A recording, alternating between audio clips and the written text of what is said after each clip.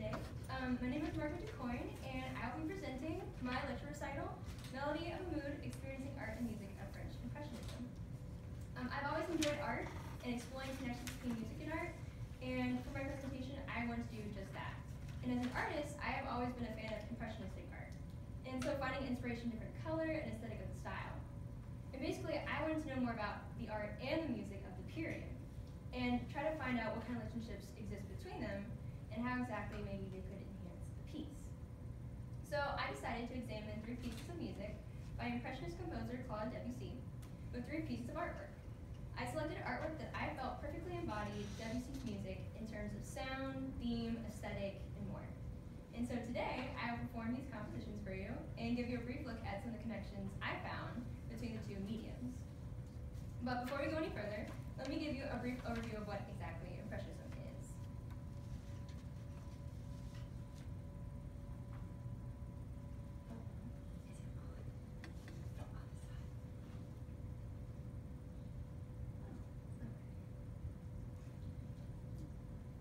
Now it's on. Sorry about that.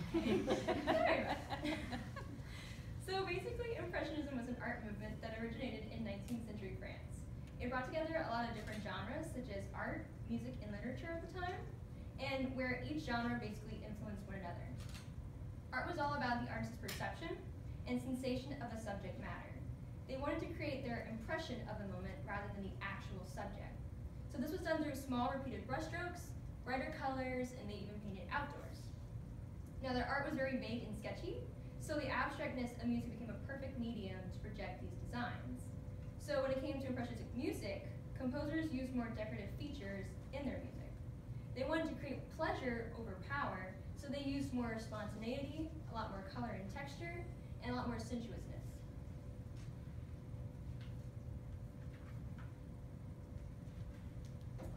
So to get a better idea of these concepts, I will start with my first piece that's titled Nuit de Toile. And the lyrics basically depict a poet who has a personal moment while sitting under a starry night sky. And he's singing a song with his lyre and sings of a past love and is pretty sad about it. So I felt the piece Starry Night Over the Rhone by Vincent van Gogh really worked to capture that moment of this starry night sky.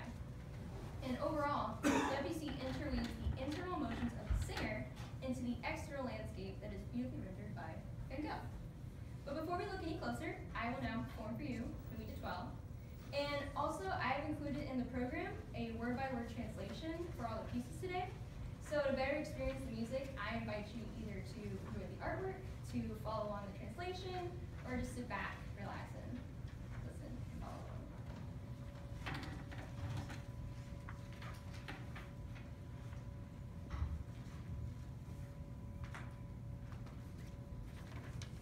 Thank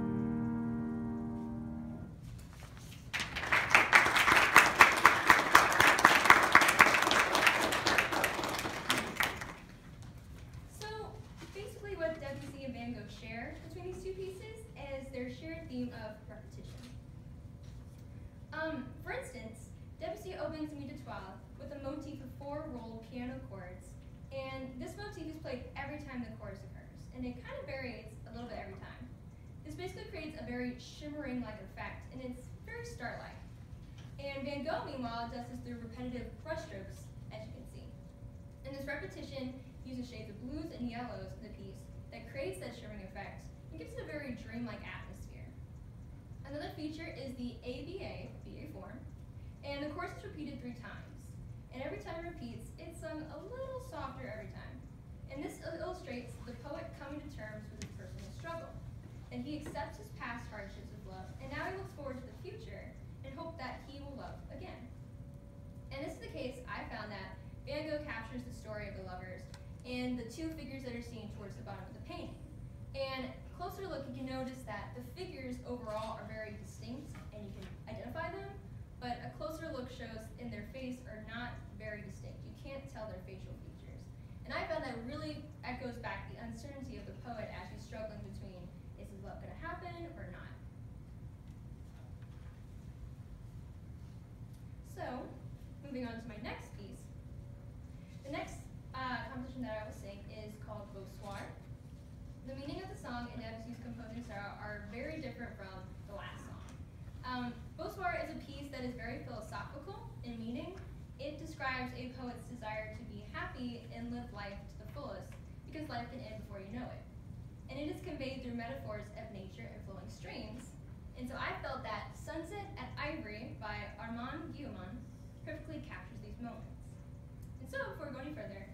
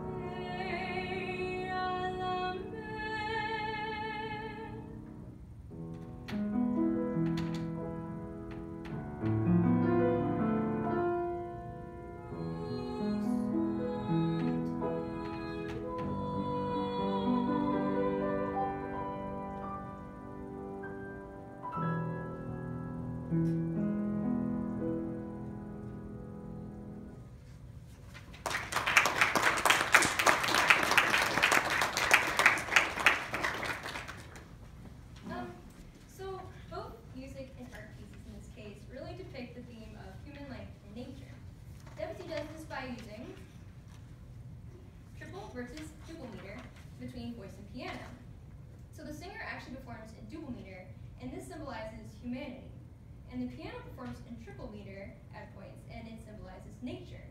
And it's a tricky coordination between singer and piano, and it basically symbolizes that push and pull relationship that are happening between them. And this is a metaphor for how humanity, in this case, works with and against nature at times, and vice versa. So the symbolism happens again to this piece, especially at the climax, as it's shown here, especially at the word beautiful or beau. The singer holds this for around five counts at forte before dropping very sharply, where they sing quieter and more soft. Um, this serves as a metaphor of the quick interruption of life and its joys. The moment resolves in the piano with dim molto over the next several measures thereafter, symbolizing the fast ebbing out of life at the end. Um, the ending of the song also, another metaphor that's shown between life and death. The last two lines are sung by the singer are very quiet, very soft, and the piano, meanwhile, uh, sweeps a very large and large range from low to high, before finally finishing at the tonic. This large sweep acts as a metaphor for the soul rising. Also, it's at this point that the singer piano really share true rhythmic synchronicity, and this symbolizes the unification of the poet with nature. So with the painting, this echoes the wave-like flowing feeling of the song through the river imagery and even those billowing smokes in the background. And it also shows that what's interesting is that nature is actually in the foreground of this piece, whereas humanity or this factory is in the background. And that shows how strong that nature is in this painting, but also in Debussy's piece. But at the same time, it shows that humanity is always right there, and that it's always going to be there, even if it ends. So, moving on. The last piece that I will sing for you, um, at this point, philosophy is totally out the window uh, instead, Debussy showcases his skill uh, in depicting illustrations through his music. So the last piece I'll perform for you is titled Clair de Lune. It is depicting the singer or the poet observing a fête galante, or a gallant festival. And this is where people are wearing masks, and they're basically having a giant party under the moonlight. Uh, the artwork that I picked for this is James Whistler's Nocturne in Black and Gold, The Falling Rocket. Um, and you can see it's a little different from our previous pieces, but it really helps to capture the mood of the piece. But before, without further ado,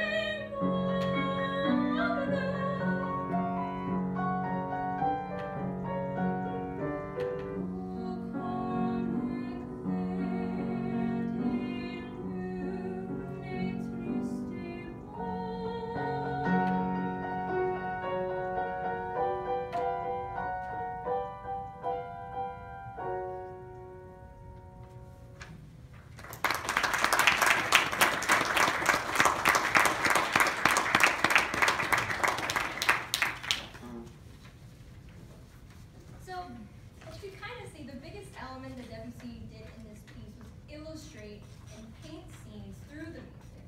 For instance, he sets up the mood of the piece by that very long opening of the piano.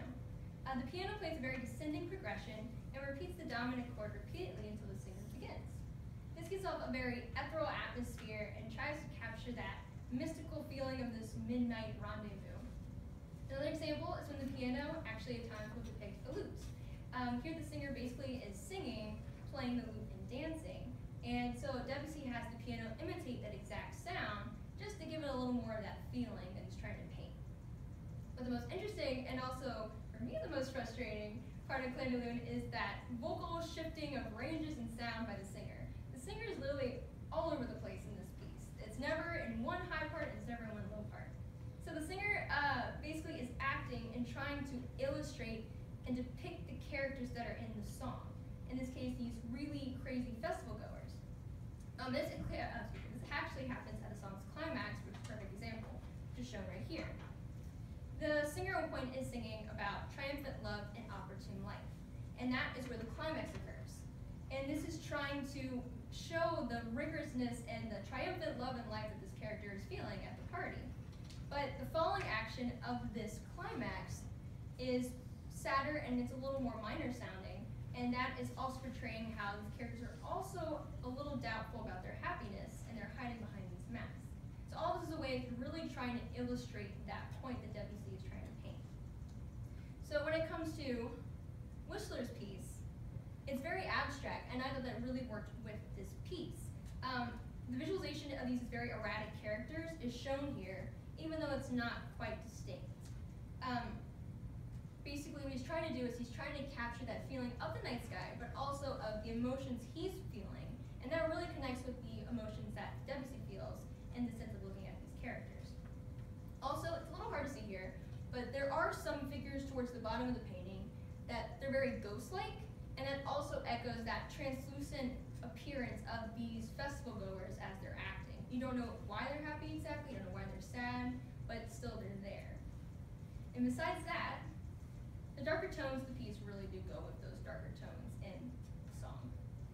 So to wrap everything up, the art and music of Impressionism really encompasses the ideology of portraying mood and experience It is about feeling and perceiving more than anything. And I came to understand this better even in my own research. I was able to enhance my own performance of Debussy pieces by associating and visualizing with a piece of art. And this gave me a clear image of exactly how I wanted to emote feeling of the song by visualizing some art with it. And also, I do hope that you too were able to enjoy experiencing my singing and art, and were able to have your own nice, impressionable moment and that is our presentation. Thank you.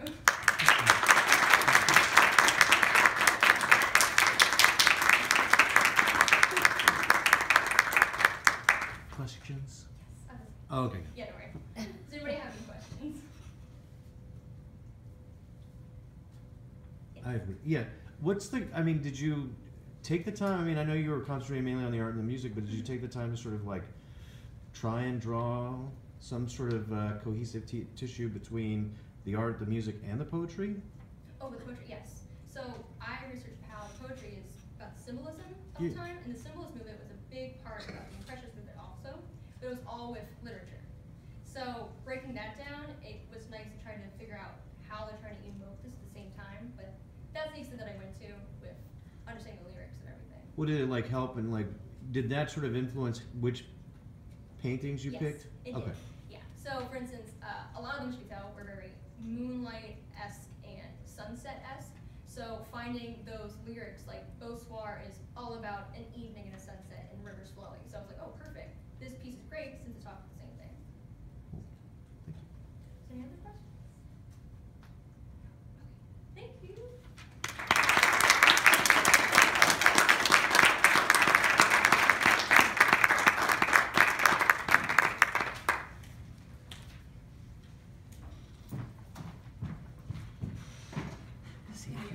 See if you can get Abby to get closer to you when she sings. yeah. Yeah, I just makes- a really hard time hearing too. Well, it we're makes it for a wide shot. Okay. I want um, This is the last one, it's gonna look good. okay. When you sing, You did Great. Hi, everybody. Uh, my name is Abby. Thank you all for coming today. Um, my senior seminar um, presentation is a little bit different than Margot's, and I think kind of unique in itself. It's more of a clinical workshop. Um, I was really intrigued by the concept of vocal production and the way that um, it's kind of evolved over time um, and been enhanced by certain performance aspects um, and those types of things. Um, so today I'm going to give you some practical takeaways and ways that you can apply that to your performances um, and things you want to do if you're interested in pursuing singing. Maybe you're just curious, maybe you're here just to support.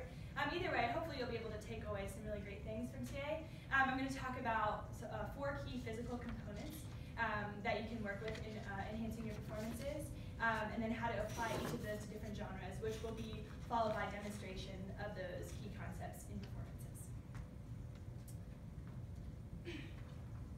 So the first key component I'm going to talk about is posture. This is, after all, talking about how to fully incorporate the body into a vocal performance. Um, and a lot of people don't think that it is as difficult as it is, but I assure you that it is. Um, in life, we get kind of caught up in things that we're doing, whether it's at work on the computer, or things that we're wearing, or maybe we're tired, exhausted, um, long day at work, maybe we're exercising a lot, we're just getting into a lot of bad habits, and poor posture just seems to be kind of a regular thing.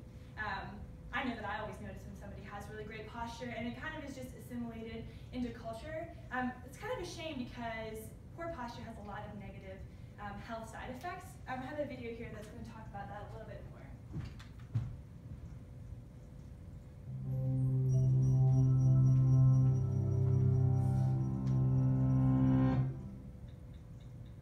Has anyone ever told you, stand up straight, or scolded you for slouching at a family dinner?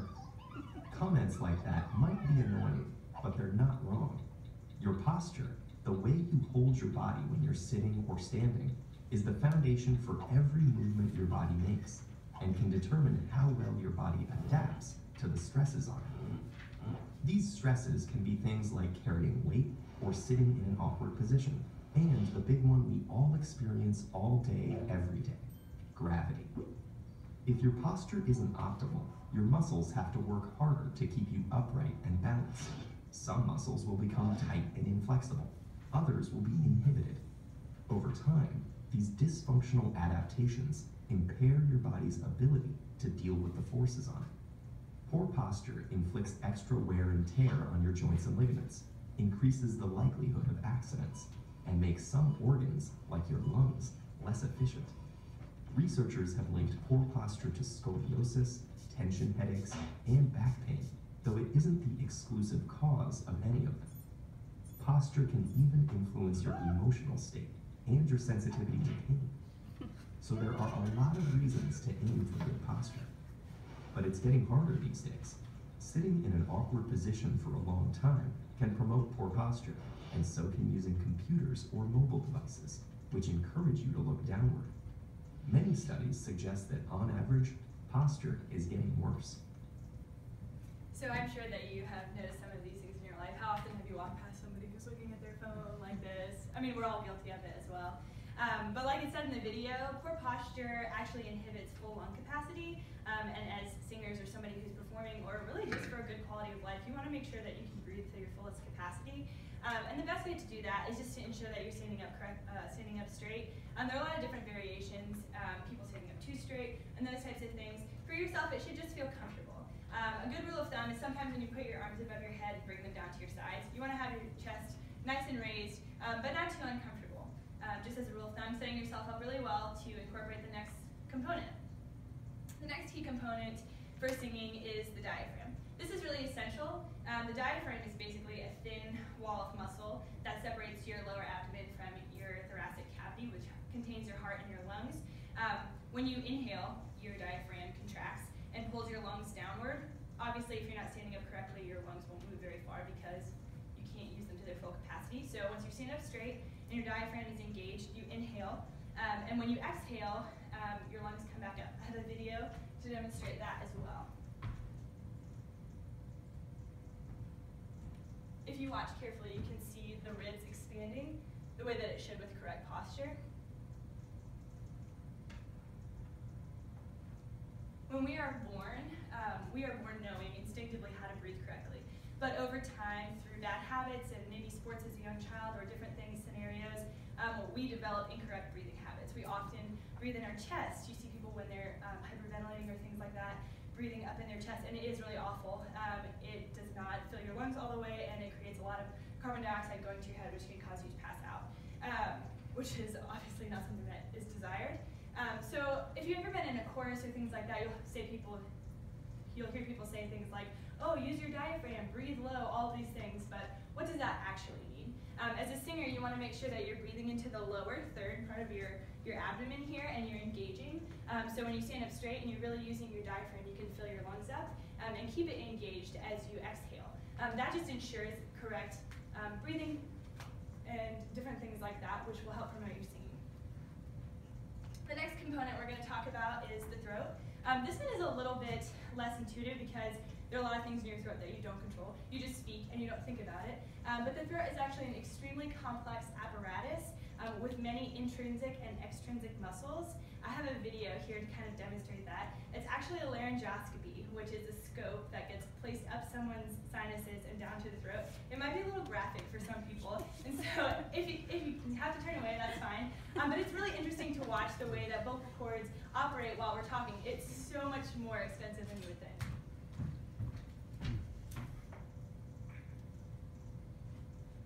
Oh, this is gross.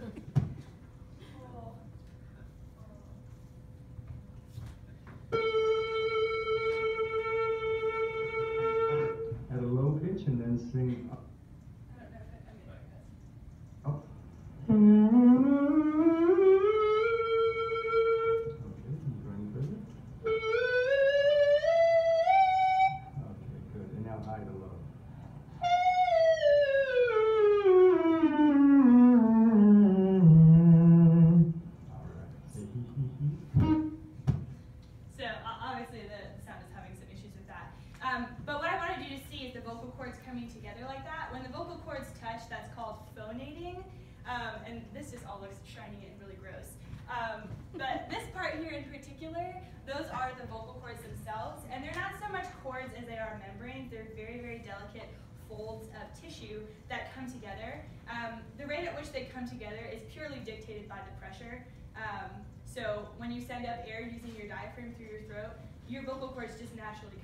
It's the way that they operate, and it's really cool. You'll see as they're saying he, he, he, they came together more frequently. Um, then on long sustained notes, um, the coolest thing I think though about vocal cords is that they're covered in a really thin layer of skin that is designed to be worn away. Um, and it regenerates really quickly. So when you speak naturally, it's perfectly normal for the skin to get worn away. So when you sing and do different things like that, a, a normal level of wear and tear is great and healthy for your vocal cords, and they'll regenerate very quickly. Um, but you start to come into some problems when you hear people like Christina Aguilera singing, or Passenger, and they have these rough, smoky voices, and all those all those kinds of things. All it does is create wear and tear, and the skin doesn't have time to regenerate in between, and it's a little bit too extensive. Um, you start damaging the cords themselves, the vocal folds, um, and over a long period of time, this can cause massive issues such as vocal nodules, granuloma, those types of things, things that you don't want to get involved in. Um, singing um, and using your throat can be intuitive though. Um, singing shouldn't hurt. It shouldn't. So when you're singing and you're producing sound, just make sure that it's comfortable. Your throat's going to take care of itself. Your body's going to do what it's supposed to do. We're just trying to enhance this process by just making you a little bit more aware of these components. The last component that we're going to discuss is the mouth. Um, so once you have your posture and your lung capacity all set, you're engaging your diaphragm and you're hopefully using your throat um, and not damaging it too much, um, the last step is a filter. This is what makes your voice uniquely you. Everybody's is different. Everybody's anatomy is individualized. Um, and um, the biggest factor in that filter is your mouth, the resonators. So your mouth and sinuses are used as resonators. If you use them correctly, it should project your voice. Um, as you can see, Margeaux didn't need a, a microphone, and I won't either. When you see opera singers on a stage, they don't need a microphone because they are optimizing their resonators. Um, if you hear somebody singing and it sounds kind of nasally, they're not using their resonators correctly. Other ways to enhance your resonators are to make sure that you open your mouth all the way. Duh, open your mouth when you're singing. But it really is very important. Um, you need more space than you think you do. I call this the rule of thumb, but at all times you kind of need an, a thumb's width space between your back molars. So like, that's a lot of space. A lot more than you would think. So when you see people at chorus concerts, they're like, "Eh," they're not really optimizing their resonators. um, another thing to, to op, uh, ensure optimizing your resonators is to make sure that your mouth reflects good, vo- uh, good vowel shapes. So So when you say ah, making sure it's nice and tall, things like that. Um, the last thing with the mouth that you want to watch out for though is tension. Your jaw and your tongue hold a lot of tension. And if you're not careful about that, it can affect your vocal cords negatively. Um, it can create fast vibrato or extra pressure that can also cause wear and tear, unnecessary wear and tear on your vocal cords. I actually have a video kind of uh, illustrating the way that the tongue works. It's a massive muscle um, in your in your mouth and it goes all the way down the back of your throat. Um, it's actually connected to the same bone that your larynx is. Your larynx contains your vocal cords, and so when your tongue has tension, it's basically tug of war between your vocal cords. So when your tongue has tension and you don't even think about it, it's moving your, your vocal cords around like crazy. Um, so you can see why the tension can be a negative thing.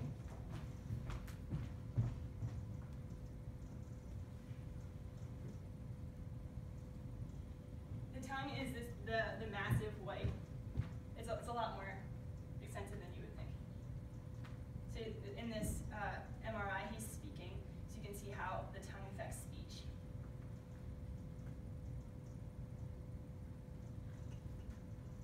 So there are a lot of really strange things that people suggest in getting rid of tongue tension.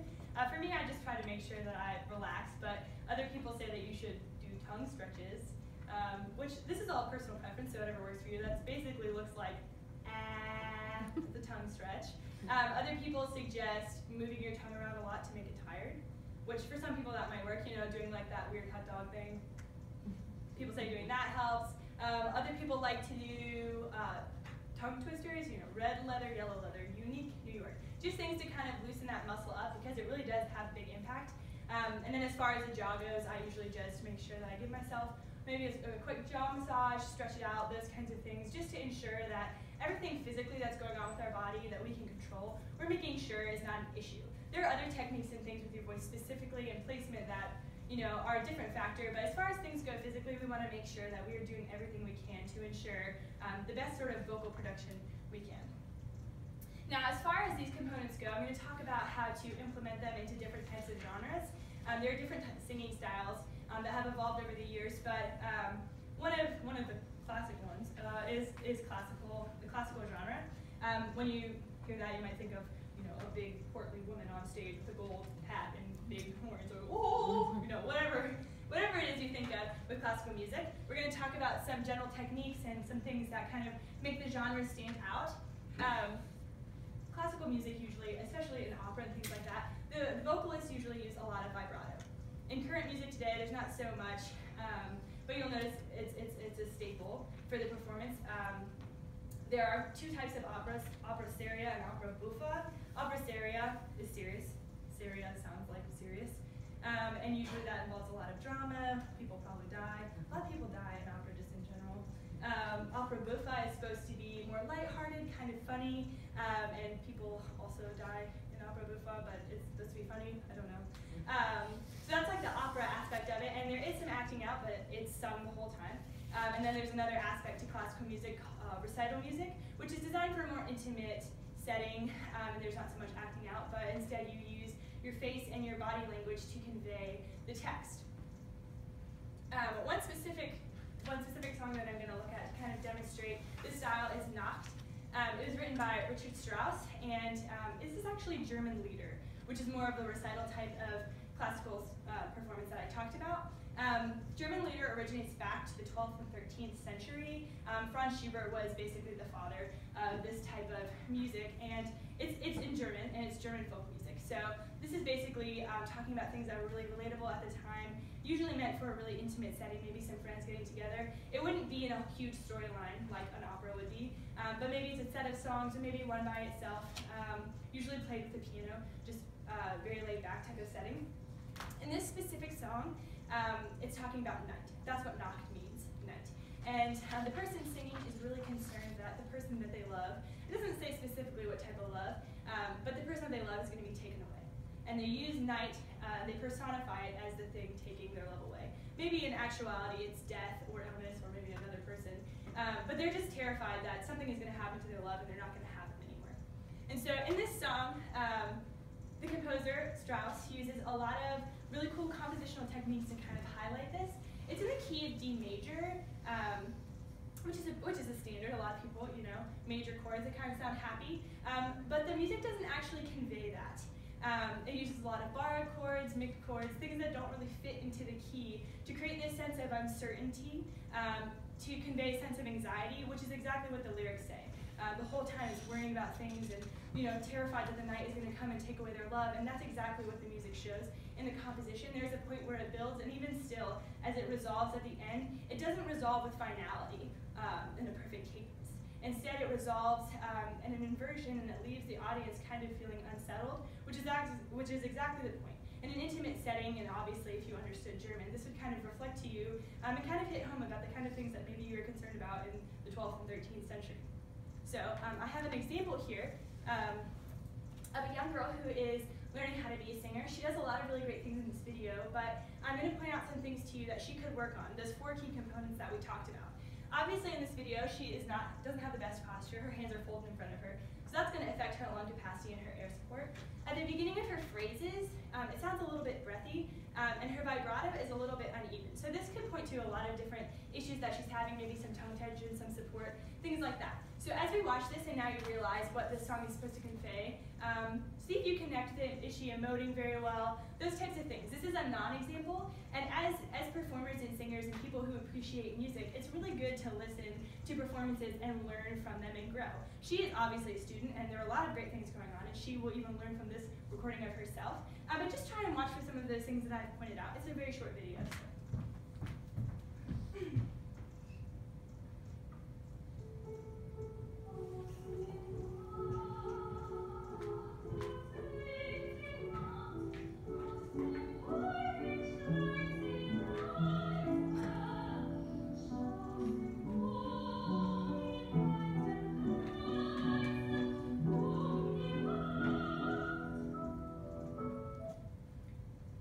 Video, you can also hear her breathing very highly into her chest. Um, there are things that she can work on to improve this even more, even though it's already a beautiful performance. Um, and so now I'm going to sing this song for you, demonstrating the correct approaches to the four key concepts that we're talking about while trying to emote so you can connect to it. You don't necessarily need the language or the translation to understand what it is that I'm saying if you perform the way that the music is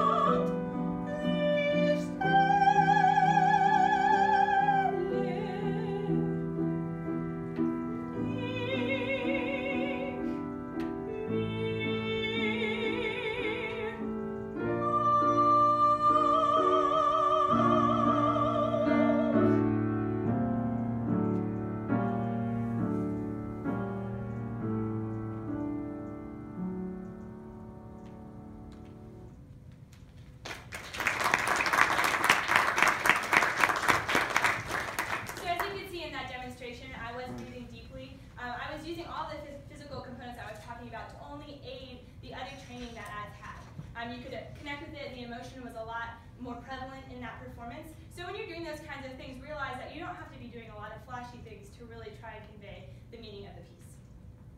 The next style I'm going to be talking about, the next genre, is Broadway. Um, Broadway is kind of cool because it didn't really start as its own genre. It evolved from um, actually a long time ago. Slaves who came over from Africa um, mixed their African style songs with the Anglo-Saxon hymns that were already in America from the colonials and kind of formed their own um, slave songs that they would sing in the fields, which then evolved into gospel, eventually minstrelsy, and then Broadway was born. It kind of seems like a counterclockwise, backwards way of creating it, but it kind of did come out of that. Um, so because Broadway has its own um, unique beginnings, it also has its very unique sound. Um, in its golden age, after the Great Depression, uh, shows like Oklahoma, Oklahoma came out, which really allowed Broadway to kind of take off and, and start doing its own thing, and really people started coming in to appreciate it as its own genre. Some of the more Broadway techniques that you'll hear are these big, loud, high notes that are very distinctive, and there's not usually a lot of vibrato, it's a little bit less um, than opera or lieder or recital type pieces, which I just did. Um, and so there's going to be a lot more acting out. It's similar to opera in that there are musical numbers, but there is talking between. There's more character development and storyline and plot, things like that. Um, so there's more acting and dramatics that get incorporated into the techniques. Um, one specific example I have is The Story Goes On. This is from a show called Baby by Jonathan Larson, and um, basically the premise of the show is that there are three groups of uh, couples who find out that they're pregnant in different stages of life. This song in particular zooms in on a college girl who finds out that she's pregnant and is kind of realizing how awesome it is that she's pregnant, experiencing this life inside of her, knowing that past generations have felt this and generations to follow her. She's just part of a much bigger picture. Um, it's kind of beautiful, and you can see that reflected in the composition. It kind of starts out a little bit unsure, kind of contemplative, and you can hear that in the chords and um, some of the dissonances. It starts lower in the chest voice, um, which is the voice that I'm speaking in now, um, and kind of moves gradually higher and higher. Broadway is very unique in that it has kind of created its own style of singing, basically. It mixes the chest voice and the head voice, like the opera voice, together to create something called a belt. So the higher you move up, to get that really dramatic sound, you belt, which is a mixture between the two, which is much healthier um, than just, I guess, using your chest voice that high, screaming, basically. Um, so I have a quick demonstration here of a girl who is also in a conservatory, and she created an audition video. Um, there are a lot of really great things going on here, uh, but just to point out a couple things that she might not be demonstrating from the components we talked about. Her voice does have a nasally quality to it, um, which might show that she's not using her resonators correctly. Um, she shouldn't have a nasally tone if she's using them correctly. Her vibrato is a little fast. Maybe that is indicative of some tension in her tongue or her jaw. Um, and you'll notice as she gets to the end of the piece, where it starts getting really high in pitch, um, she doesn't switch into her head voice like she should. She instead just belts it. I mean, it sounds like it's yelling. Um, listening to it myself, it sounds a little bit painful. Um, and when she and when she gets to the end of the video, she doesn't really have a pleasant look on her face. So maybe it is painful. Um, but you'll be able to tell those things. So keep an eye on that while you're watching this performance, and keeping those four key components we talked about in mind as well.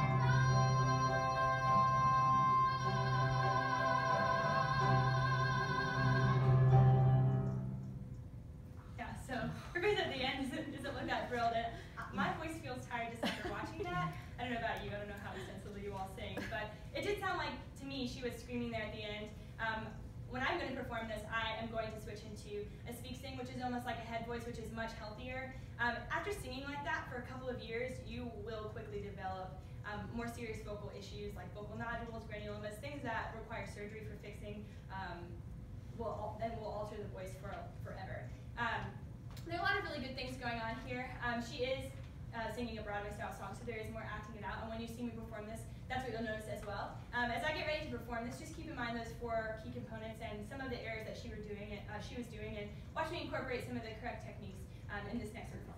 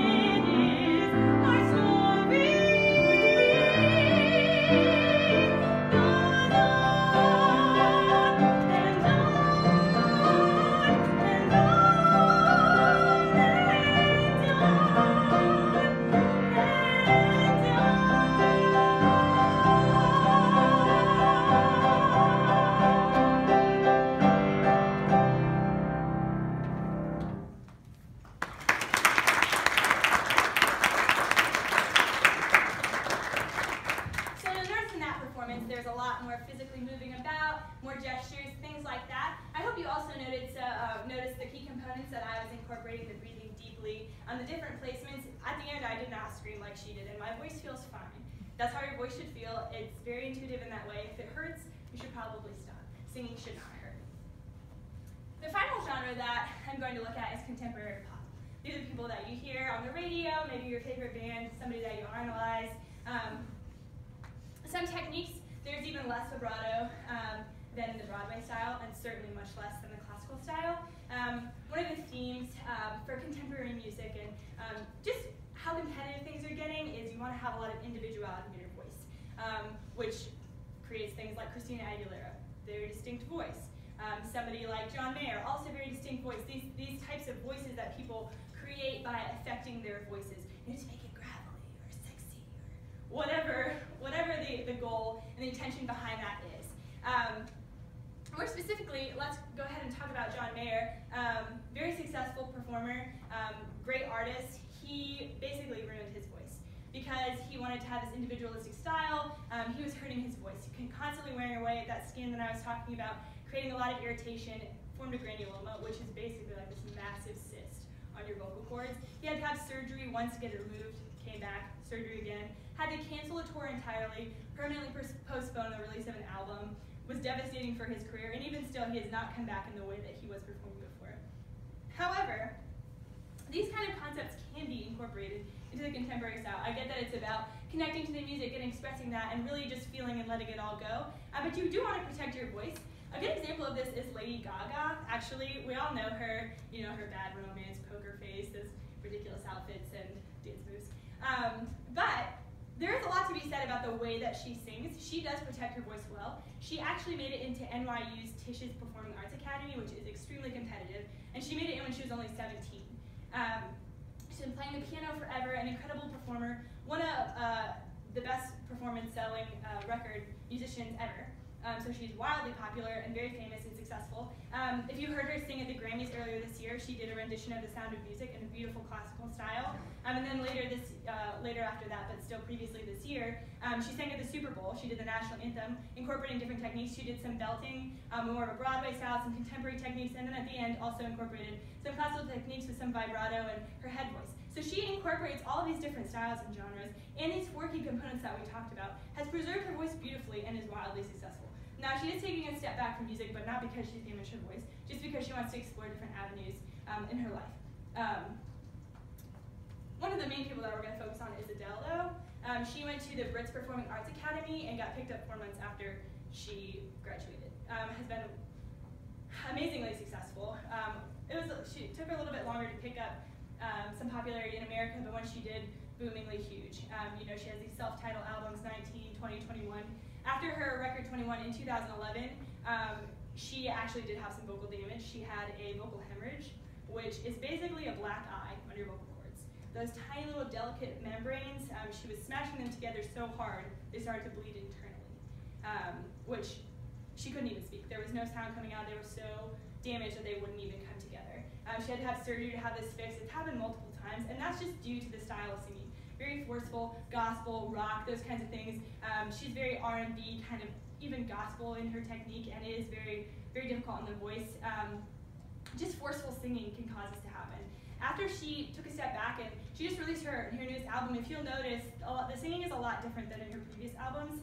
It's not as forceful or powerful in that way. Still beautiful and really great singing, but I believe that she's taken a step back and reevaluated to increase the longevity of her voice and ensure that she has a musical career that kind of follows throughout. One of the songs I'm going to look at is Someone Like You. This is before she took a step back and kind of reevaluated what she was doing with her techniques. Um, this song, when it was first recorded um, and performed live, um, in the second part of the chorus, she would go up much higher and kind of push pretty hard, you know, me part. I'm sure that all of you are familiar listening to this, it sounds kind of gravelly, and you're like, oh, that sounds great, that's awesome. But you're actually witnessing vocal damage as it's happening, um, which is also kind of painful to experience um, and also watch. So she was allowing this to happen to her voice, um, and if you'll notice now, she doesn't sing like that. She sings it much lower. She's altered the way that she sings this song to protect her voice. I have a video kind of demonstrating that, so pay attention. It's it's a recording, it's a music video, so you won't actually get to see any of the physical techniques that she's incorporating, but just listen to the way that she is using her vocal.